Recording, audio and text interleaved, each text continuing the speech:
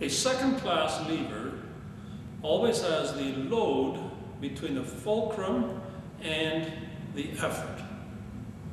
And so I have again a 20 Newton load here and I'll touch my spring scale to that and the distance of the load to the fulcrum is 15 centimeters. The distance of the effort to the fulcrum is 30 centimeters.